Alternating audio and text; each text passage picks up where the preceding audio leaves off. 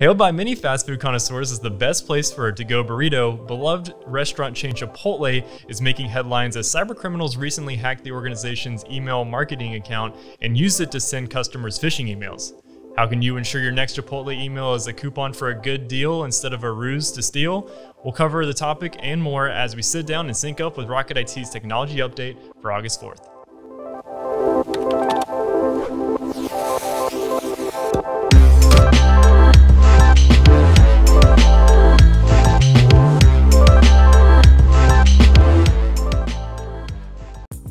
Hello, everyone. I'm Chris Swinson, your technology insider here at Rocket IT, and welcome to yet another episode of Sync Up, your new home for trending technology news.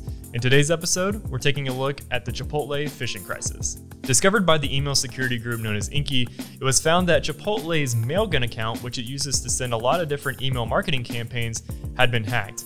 In fact, 120 different emails went out over the course of three days targeting Chipotle's consumers. That said, while the 120 different phishing emails that went out over the course of three days may not seem like much in comparison to Chipotle's massive consumer audience, keep in mind that those emails were the only ones captured by Inky's security platform.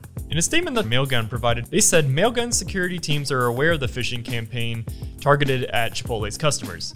While this is not a result of any platform level vulnerabilities or data breach, we assist with and support the full investigation of this incident. But why exactly did hackers need Chipotle and why couldn't they just send a phishing campaign on their own? Seeing an email from a legit address such as Chipotle's domain increases the likelihood that the message will in fact hit the customer's inbox. Otherwise, there's an opportunity for anti phishing software to pick up on the suspicious email and block it.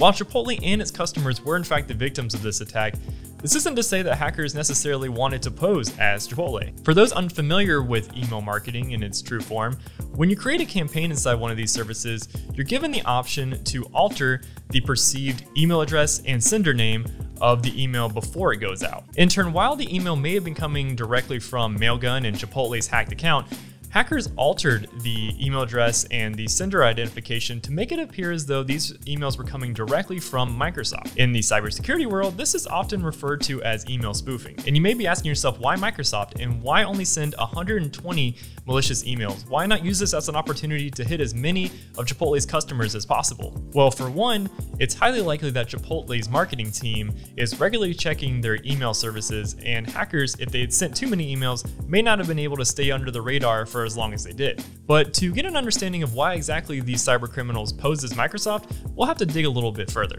Specifically, when hackers were sending these emails, they were tailoring the messaging to make it appear as though these individuals' inboxes were becoming full and they would no longer be able to send or receive messages. When opened, these messages actually contained fraudulent links that sent the individual to illegitimate websites that then contained faked login portals that captured the individual's credentials when entered. So here lies the hacker's dilemma. While they could have used a similar scam to direct customers to a faked Chipotle login screen where they collected their credentials and used them to log into their real accounts to collect their credit card information, the payout might have been kind of small. Instead, by spoofing Microsoft, this kind of hints that these hackers were actually going through Chipotle's customer list and picking out those individuals that had subscribed with a business account. By successfully hitting these individuals, they would then be able to log into their Microsoft account, potentially get into their business network, collect some data, and then hold that data for ransom and increase the chance of a larger payout in the future. But surely,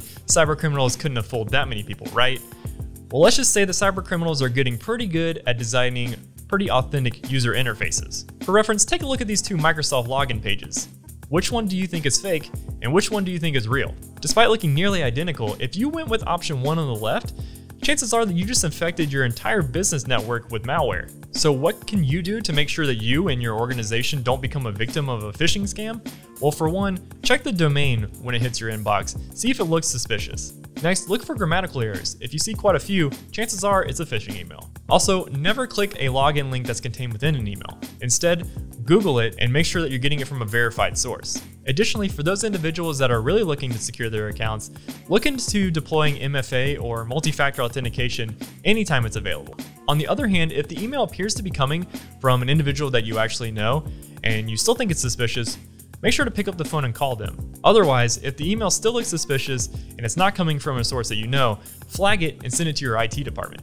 But above all else, if you've not participated in some form of security training or phishing testing within the last few months, look into it. For a limited time, Rocket IT is offering audience members a free phishing test to ensure you and your team know the telltale signs of current phishing trends. For more information on this deal, click the link in this video's description, and in the meantime, hit that subscribe button to stay tuned for the next episode of Sync Up with Rocket IT.